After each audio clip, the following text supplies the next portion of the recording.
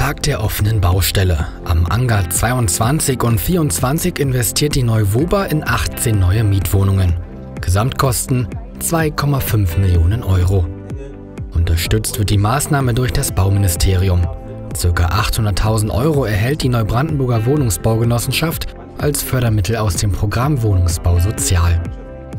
Dadurch entstehen hier Wohnungen für einkommensschwache Haushalte mit einer Netto-Kaltmiete von 5,5 Euro pro Quadratmeter.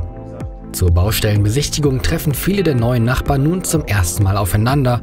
Die Vorfreude ist groß. Ich finde das von der Neuwober eine ganz tolle Sache hier, so eine Wohnung entstehen zu lassen, auch für Leute, die nicht so doll bemittelt sind und die auch so eine Chance bekommen, so eine wirklich schöne neue Wohnung zu kriegen. Ich finde es ganz toll und ich finde auch heute hier diese ganze Eröffnung oder Begehung dieser Baustelle finde ich hervorragend.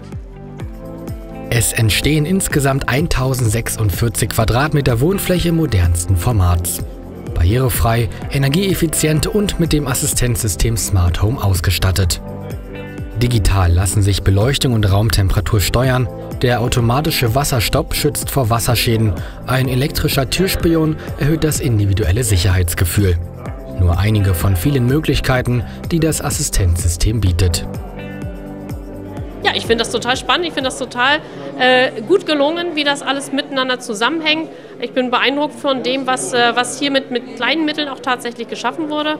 Und äh, gerade das Thema Sicherheit im Wohnbereich, gerade eben dann auch für ältere Leute, das ist fantastisch gelungen. Und was ich eben auch merke, die Freude und die Begeisterung der Leute, die hier einziehen wollen und die Warteliste ist lang.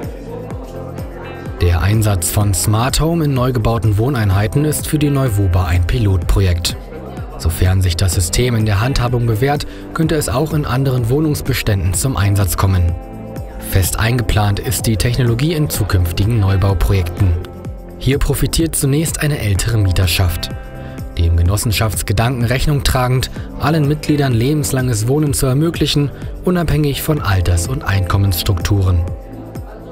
Die Zielgruppe, die wir jetzt hier im Fokus haben, sind unsere Genossenschaftsmitglieder teilweise der ersten Stunde, die so viele Jahre schon mit uns einen gemeinsamen Weg gegangen sind.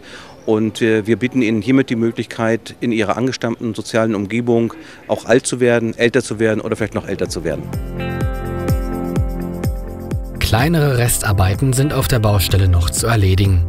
Doch der Einzugstermin rückt näher. Schon am 2. August ist Schlüsselübergabe.